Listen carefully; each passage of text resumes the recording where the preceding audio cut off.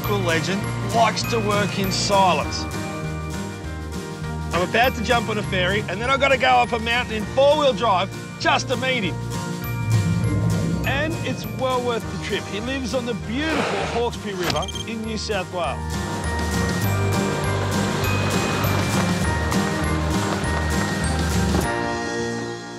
Best place ever. Can have your castles, you can have your palaces. This is heaven, and I'm only looking at the scrap heap. Can't wait to see the sculptures. So my local hero's name is Chris Hartshorn, and everyone in the area knows him as Jangling Jack, and I'm ready to learn from the best.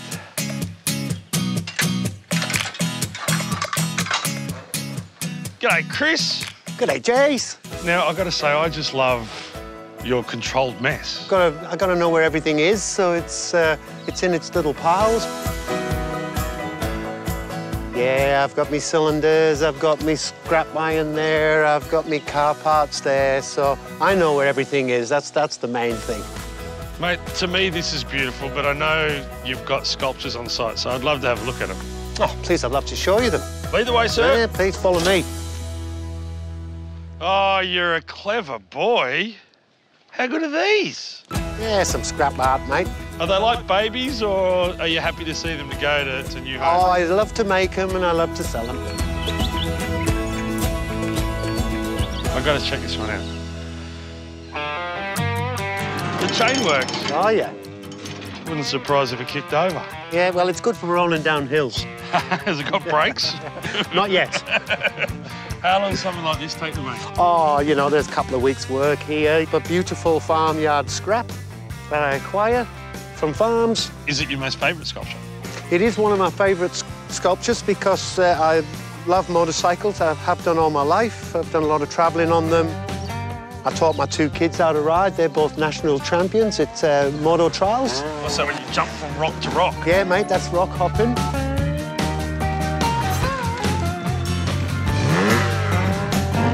Yeah, I started them off at a young age and uh, in this environment where we hang out. Yeah.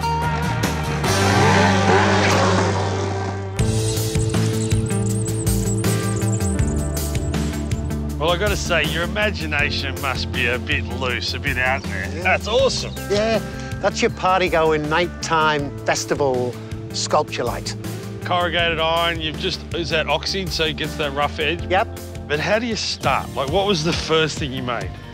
Well, I started making presents for people, little mobiles and things like that. And then I enjoyed it so much, I turned it into a trade, if you like, you know, a full-time artist. It's, it's important to have special things in the world still, isn't it? Instead of everything being the same, you know. So, mate, it's all well and good to be out here in the bush, but how do you sell the stuff? Well, I sell it in galleries, but uh, mostly now I sell it online. And the little pig, that actually looks doable.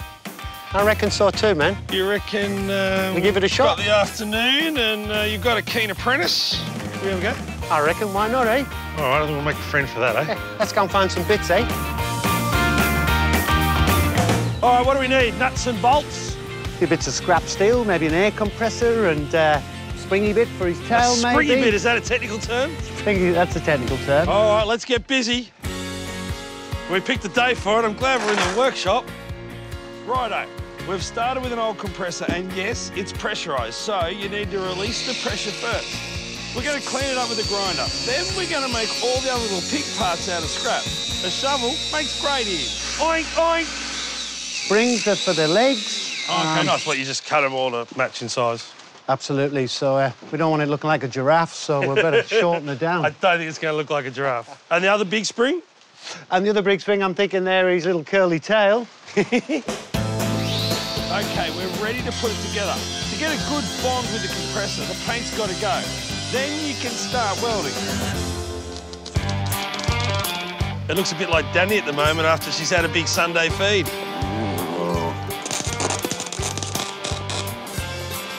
I'm a bit messy, aren't I? Looks good to me, mate. Oh, well, it's holding. I've welded it to the table. And what's this, mate? Like a lacquer? Yeah, this is a, a penetrol hole, which is really good for uh, sealing the art piece and uh, making it clean to touch. And also, I think it puts a nice shine on it. Yeah, beautiful shine. Yeah. What do you enjoy most about making these sorts of things? So most things seem to be mass-produced. I just think it's really nice to be able to make a one-off piece of art these days uh, that, uh, you know, no two are the same. And something special about that, Jace, I think, this day and age. I couldn't agree more.